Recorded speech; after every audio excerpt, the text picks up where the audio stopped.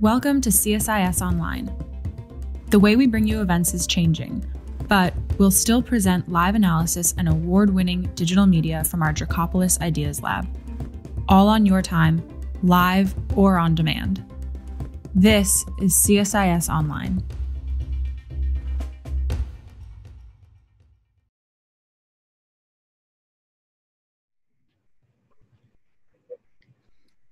Morning, everyone. I'm Dr. Kathleen Hicks. I direct the International Security Program here at CSIS, and I'm so pleased to have joining me this morning the Chief of Staff of the Army, General James McConville. General McConville, welcome to CSIS. Well, thank you, Dr. Hicks. It's great to be here with you. Wonderful. Well, there's so many things we should be talking to you about today, but I know we have a limited amount of your time, and we, I really want to focus more than anything on the Pacific. Um, and I know you've come from the region relatively recently. The national defense strategy has prioritized um, so-called great power competition, and especially China and Russia. But I think most people, when they think about the army, they're thinking obviously a ground-intensive environment like Europe, and they're not often thinking about the Pacific. Um, is the Pacific really a priority for the army, and, and what does it mean if it is? Yeah, historically, um, you know, we've focused on Europe, but with the national defense strategy that puts the Indo-Pacific as, as the top priority, um, it's certainly a priority for us. And, and as we, we, take a look and having uh, been out in the Pacific, that was my first overseas trip uh, as a chief in September of 2019. I've just did my first uh, trip uh, with COVID uh, out out into the region, and when we look at, at the region, you know, there's great power competition there. And the great power competition is really about the people, and the people reside in the land domain. But the, the, the secret to uh, or the solution to this great power competition is really a joint force solution, and it's really with allies and partners all coming together for peace through strength.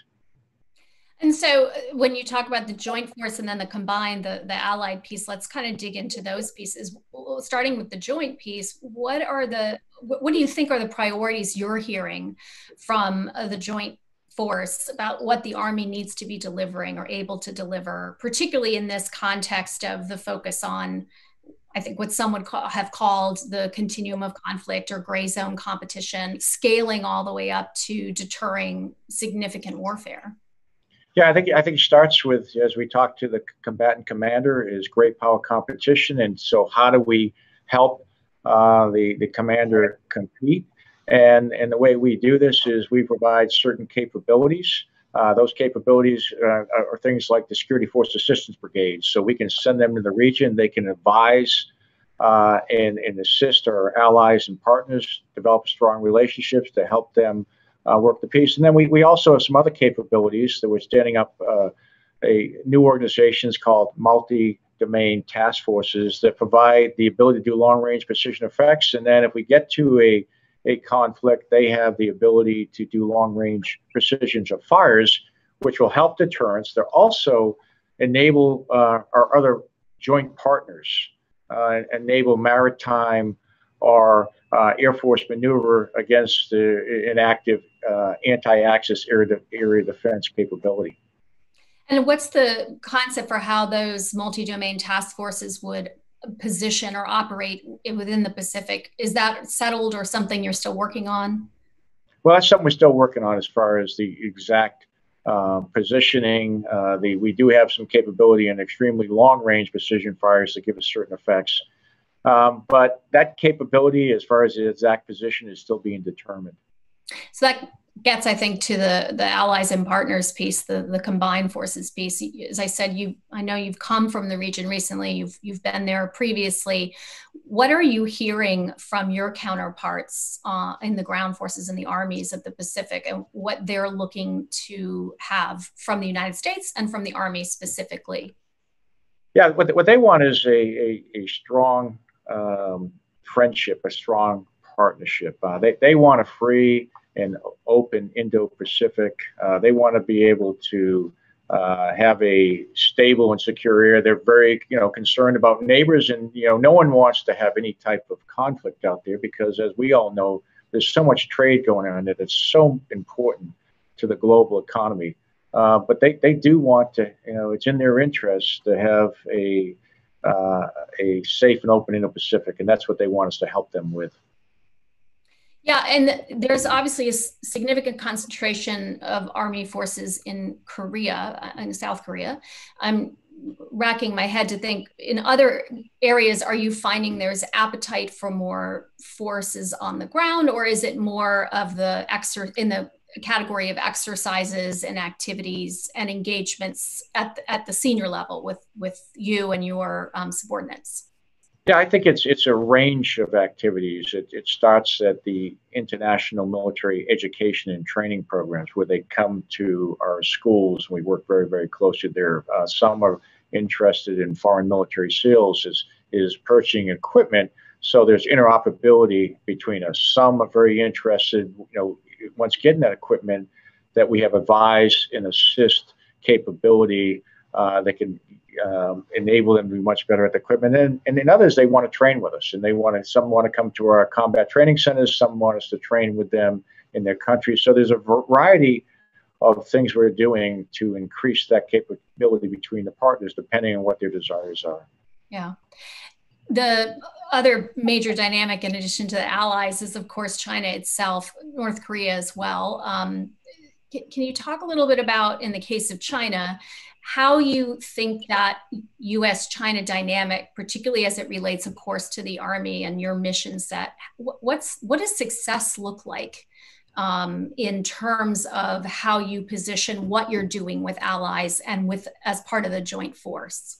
You know, as I as I talk to the allies and partners in the region, the last thing that anyone wants is some type of conflict. You know, and so great power competition does not mean that there's a great power conflict, and we all need to work uh, to avoid that type thing. But at the same time, um, many of these countries uh, they do want a free and open Indo-Pacific because you know they, they need to fish, they need to have access, they need to be able to uh, do the things that they need to do for, for their economy. And so, what they're interested in is is really stability and security uh, in the region, and and so all can prosper.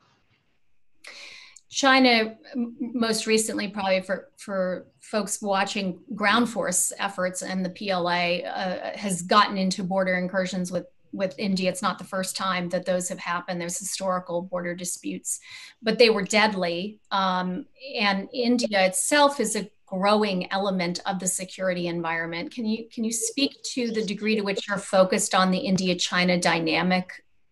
Well, I think in, in India is a very uh, important country in the region. You know, and we kind of just show we used to be, you know, Pacific Command. Now it's actually Indo-Pacific Command, reflecting uh, just how important they are. And, and you know, India and and and and, and us uh, share a lot of uh, common interests, and as a result, I think there's opportunities for that relationship and partnership, and uh, those discussions uh, are, are, certainly possible in the future. Yeah, and do you? What are the priorities that you've heard, if you've heard them yet, from the Indians? Again, with regard to their ground forces or cooperation with the army, because that's historically they've been focused on the India-Pakistan dynamic, and ground force capabilities are very important to that. Are they still quite focused on their ground forces? Well, I think I think you know again I, I tend to talk to the ground forces. So as we as we talk to uh, the Indian Chief of Staff of the Army, he's certainly focused on the ground forces. And then as we, we have discussions, we're looking for common interests and how we can uh, improve the relationship. Yeah. Um, let's talk about the trip you just came from. You, you met with your counterparts uh, in a couple other countries in Southeast Asia. You, can you speak a little bit about what you heard in the midst of COVID and in the midst of this competition between the United States and China? Yeah, it, you know, uh, first of all, you know, many of the countries are, are very, very concerned about COVID. COVID is affecting the entire globe. And even during my travel, I was tested many, many times in, on national television and in Thailand just to, just to make sure that as we move through the region, uh, that COVID is not uh, is not spreading. So all the countries are very, very concerned with that. Um, it, we're all you know, aggressively working on some type of vaccine and some type of therapeutic to do that. So they're very, very interested in what we're doing and what you know once we uh, discover that we that we can share. And again, most most of the partners again they're they're very concerned uh, with some of the activities of the competitors out there that's going to limit their capability to do the things that they need to do for their economy to have a, a free and open trade. So that that that is what their you know their, their biggest concern. Uh, they they don't want to have to choose between partners when it comes to the economy because they're all dependent on the partners out there for the economy, and uh, you know, we have to respect that and respect their interests. With COVID being such a predominant factor in the environment, as you say, globally and certainly in that region, and the degree of Chinese uh, influence campaign activity around it, are you are you looking at I would just call it health diplomacy as something that that the Army can help provide to allies and partners who are looking for help on um, whether it's vaccine or therapeutics or logistics, anything like that? Yeah, I, th- I think there's certainly uh, opportunities there. You know, we as we build relationships uh, with, with, with these countries, and you know, certainly if is you know we're doing some very aggressive work with Operation warp speed to get uh, a vaccine, and, and, part of that is even the therapeutics that you know that we can help treat that. And uh, with our allies and partners, once we, we have that capability, we, we certainly want to share. And we're doing some sharing right now within the region uh, that the Indo uh, PACOM Command is working with within his program to do that. But there's certainly that capability. So one of the big issues right now at this point is that we have the National Defense Authorization Act through both chambers. We obviously are awaiting the the end game, if you will, which inv- involves a conference and the president signature, et cetera. But we, I think we have a general sense of the overall budget top line. Um, and there's a lot of talk about, regardless of what happens in the national election, um, there's certainly pressure on defense are you concerned about the Army's ability to deliver in the Pacific related to defense top line, or would you describe concerns in a different way? No, we. I mean, you know, we're in a um, a major transformational effort in the United States Army. I, I, suggest that every 40 years we need to transform the Army. We did it in 1940, we did it in 1980, and now we're in two, uh, 2020. And we have some major modernization efforts going on. It's not just new equipment, it's new doctrine, it's new organizations, it's a talent management program. All these things are coming together. They're going to set the course for the next 40 years. They're going to allow us to have overmatch and great power competition. So I think it's very, very important that we can continue these efforts. And the top line and resources are going to allow us to do that.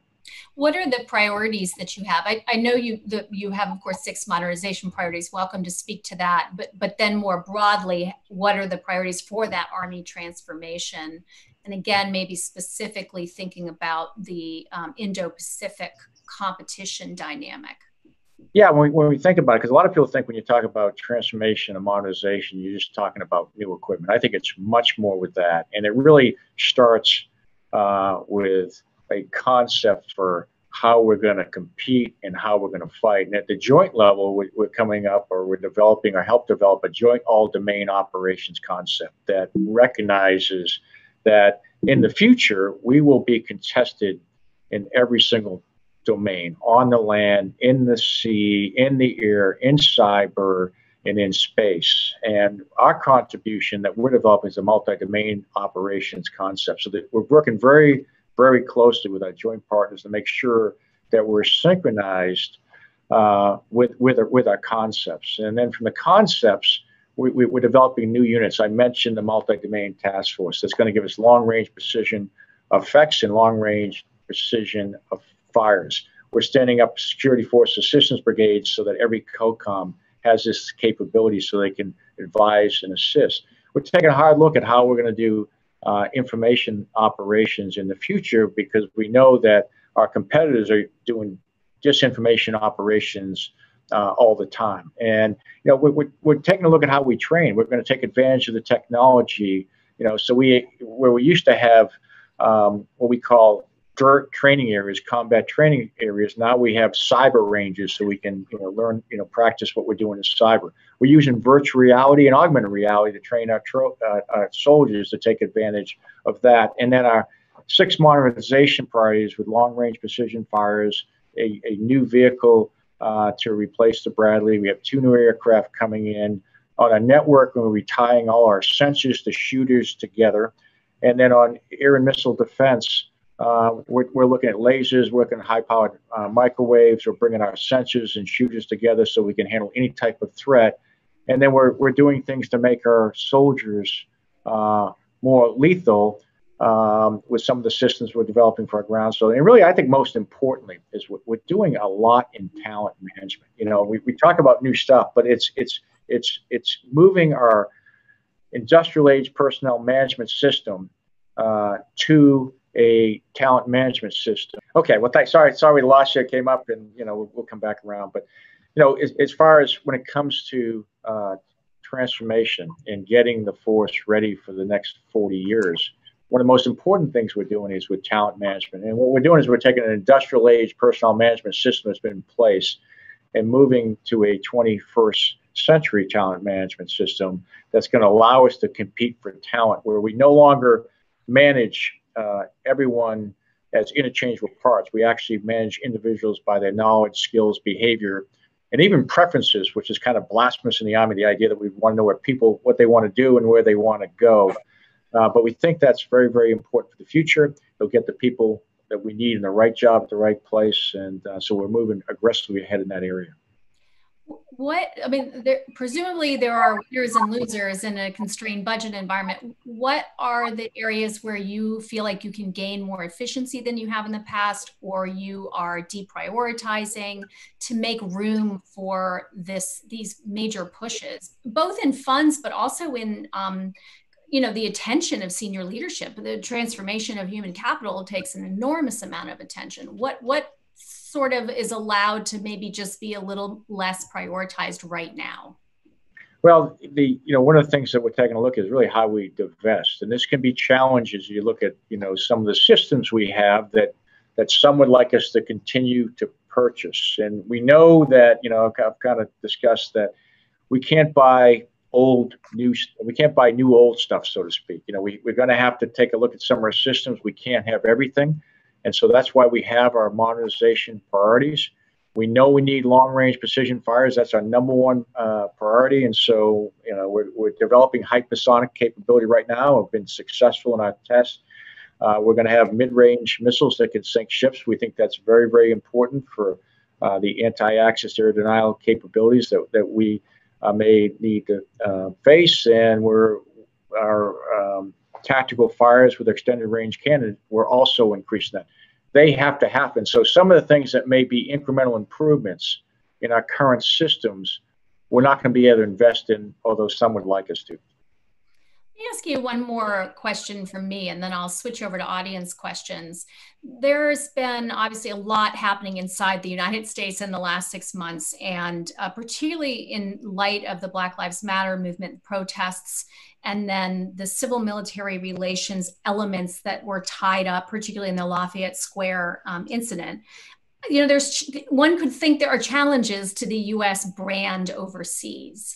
Um, certainly, we have challenges with the brand at home, but but you've, as I said, just come from the Indo-Pacific. It's a region we want to have influence in, in, in addition to Europe and elsewhere. Um, what's the Army doing to do its part to make sure that the US has a legitimate brand itself and that it actually can um, be um, influential with that brand overseas? Well, I think when it comes to uh, the military, we, we, we need to do uh, the right thing the right way in, in all circumstances. Um, you know, as far as employing um, regular Army troops. That's only to be done at the absolute uh, last resort. And, you know, in, in this case, we did not deploy regular Army active troops. Uh, we need to work very closely uh, with law enforcement and as we provide best military advice. Even the National Guard should only be um, uh, employed at the last resort. And I think um, certainly governors and, and mayors are taking a look at that. And as we talk to uh, other countries and other militaries, we have that discussion and, and, and, and, you know, make sure they understand that the, the you know, we, the purpose of, of the United States Army is, is to protect the nation, not to police the nation. That's what we have law enforcement and that we should leave policing the nation to law enforcement. also i just add also there have been quite a few diversity initiatives i know that have been brought up by um, from secretary esper and then inside the services. Can you share a little bit about what the army is doing in this regard?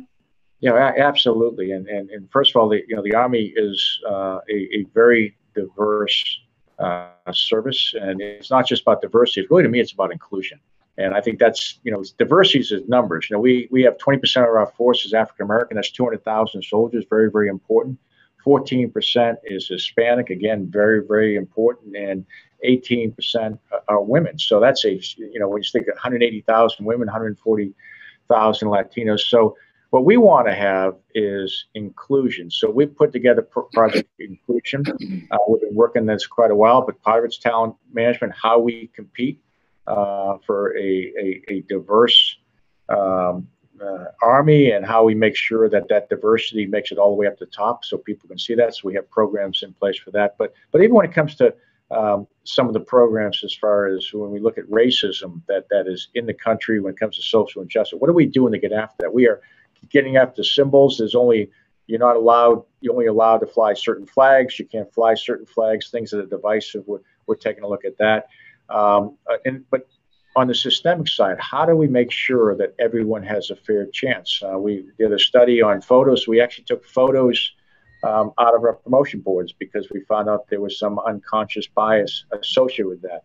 Um, for our battalion command assessment program and for our colonel's assessment pro- command assessment program, we do a blind board so people can't see what the person looks like because we want to make it as fair as possible and we're putting a lot of uh, systemic um, procedures and processes in place to really help that make sure that everyone has a fair chance in the United States Army. Great. Okay, let me get to the audience questions because we have uh, quite a few here. Um, there's one on um, the Army's propensity, the, the questioner would put it, to travel heavy. Uh, and the question is what is the Army vision for ship to shore logistics in the Indo Pacific um, that doesn't rely upon port access that's exquisite, shall we say? Yeah, I think uh, you know we have all types of forces. Uh, when you when you look at from light forces to air assault forces to airborne forces to quite uh, heavy forces, and each comes uh, with a logistical tra- trail um, or tail.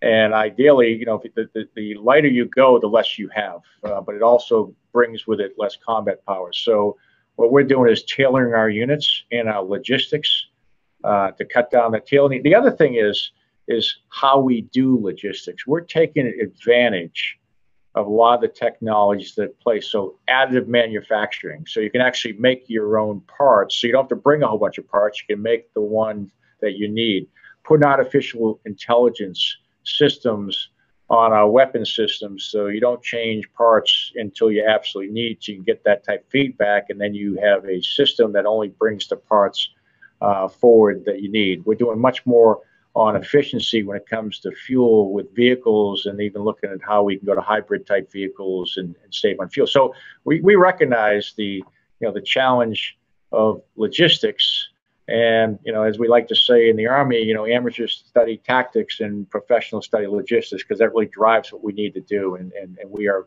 getting after that. And again, moving into the information age when it comes to logistics. Great. I also have a question on India and it's on the actually on the quad which is the us india australia and japan this concept of the four nations working together. What is your view on wh- how india can contribute to a quad or uh, you can broaden it to multilateral approaches with the us to neutralize chinese influence in the indo-pacific?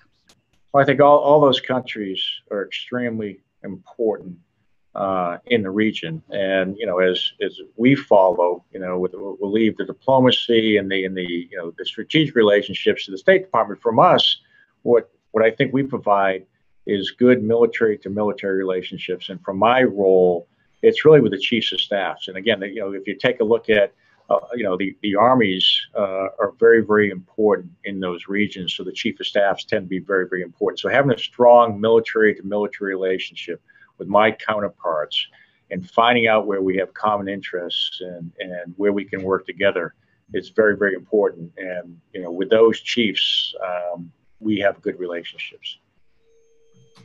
Great. Another Pacific question, this one from Todd South of the Army Times. Could you please discuss your thoughts on stationing or rotational use of Army personnel as it relates to partner nations in the first, second, or third island chain defense model? For example, how critical is it to have US forces inside the first island chain, such as Okinawa, or in partner nations such as Thailand? Station. Well, I, I think I, I, think it's uh, very important that that we have relationships uh, with the countries inside the uh, First Island chain, uh, you know, and and we do. And as far as the ability to do exercises and train, we think that's very very important. We think it's very very important to have advisors uh, with our partners and allies. Uh, you know, we we take a look at who we actually have. Uh, collective defense agreements with. You know, we, there's seven in the in, in in our country as a whole, and five of those are in the region. So when you think about, you know, Japan, Philippines, the Republic of Korea, Thailand, and and uh, Australia, New Zealand, those are the you know countries that we have defense agreements. So we think it's very very important to make sure those partnerships are strong and that we work together. So I have another question on the region, and this one is about India and its potential for contributing through what's commonly called the Quad, which is uh, the notion of a U.S., Australia, Japan, India multilateral um, set of networks that can um, work in the defense realm.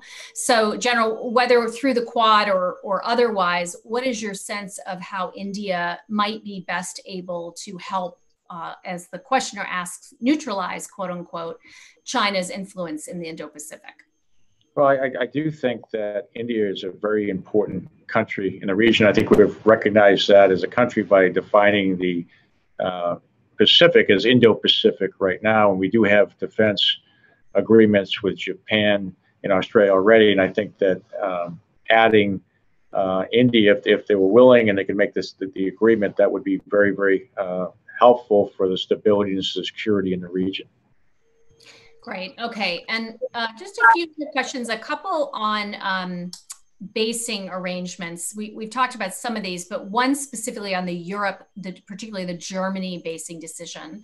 Uh, and the question reads, as stated in the Pentagon's strategic approach, the region, uh, the Indo-Pacific region is DoD's priority theater. How will this affect U.S. Army force posture in Europe in the foreseeable future? To what extent is the Trump administration's decision to withdraw troops, some amount of troops from Germany, related to this? And what kinds of capabilities are critical for deterring Russia um, that, the, that the Army should still be providing?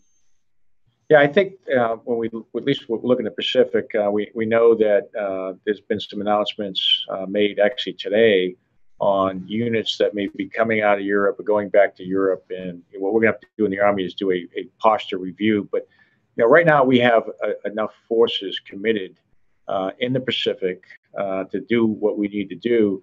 And what we're doing in the Army is actually developing those new units that we think are critical, like the multi-domain task forces that we think in the future are going to provide us the capabilities that we think we need for long range precision effects and long range precision fires uh, if required in the region. And I think the questioner was also interested in what European, what capabilities would you like to see Europe developing in light of the fact that the United States has set the Pacific, Indo Pacific as its priority theater? What would you hope others can provide in support of the common security goals we have in Europe? Well, you know, we'd, we'd like um, all the countries uh, to um, work very closely together uh, as we take a look at um, competition. Again, we're, we're, you know, we've got great power competition going on in Europe. Um, I think each country uh, doing their fair share and, and having a strong military uh, that can work together is a very, very strong force to deter any type of malign activities uh, in Europe. And so we, we want everyone to contribute. We want uh, the interoperability. One of the things I talked about in the future concept is you know, we're, we're talking about a joint all domain command and control capability, but really we need to bring the partners into that. As I talk to uh, my uh, European counterparts, uh, they all want to be part of working together.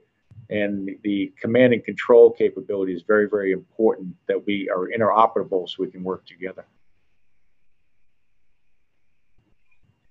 So we have one last question, and it's on um, intermediate intermediate range forces. And the question is whether you would be supportive in the Indo-Pacific of land-based uh, capabilities for strike that fit in that definition, whether preemptive in nature or uh, defensive.